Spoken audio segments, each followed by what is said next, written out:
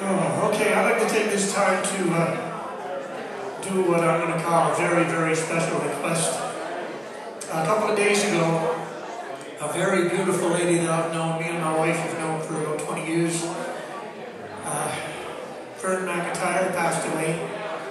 She's the owner of uh, McIntyre's Cabins here in Baddeck. And uh, her husband, Chick, is down there at the bar, Ronald. And she's one of the sweetest ladies I think I've ever met. She uh, treated me and my wife like she'd known us all of our lives. When we stayed up there, even bought stuff to the door when we didn't want it. so uh, I know she's up there looking down. I'm going to send this request out to her and uh, Ronald down at the bar. It's a little bit of Vince Gill. Song called Go Rest High.